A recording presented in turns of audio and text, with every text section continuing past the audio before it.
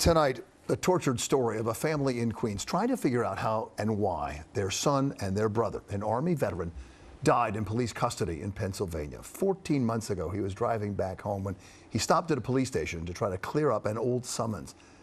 And that's where he died, in jail. Now, his family on a mission to find out what happened. Here's Josh Einiger. It's been 14 months of sorrow, of pain. It's real. It's devastating. You know, our family is devastated. But after all this time, Dwayne Palmer is no closer to an answer, no closer to knowing what happened to his brother Everett. You vacillate between depression, anger, uh, for uh, quest and thirst for information. 41 year old Everett Palmer was a Queens born father of two, an Army vet.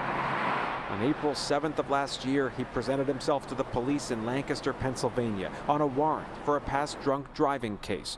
They arrested him on the spot, but after two days at the York County Prison, he died in custody. I haven't seen a case with more unanswered questions than this one. Family attorney Lee Merritt says the Palmers have waited long enough. They do have an autopsy report which suggests Palmer was somehow high on meth, even after two days in jail, and needed to be restrained.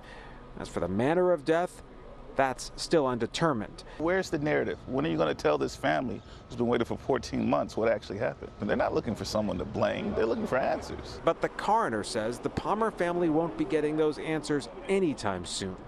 Justice in central Pennsylvania, she says, will not be rushed. We are in an era where people see a TV show and they think it's solved in an hour and they think that's how this works. But this is not how this works. My mom had five children. She now has four children.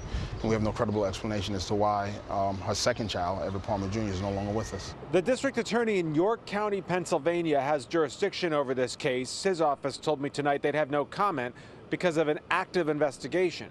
But 14 months into that investigation, Everett Palmer's family wonders how much longer they'll have to wait.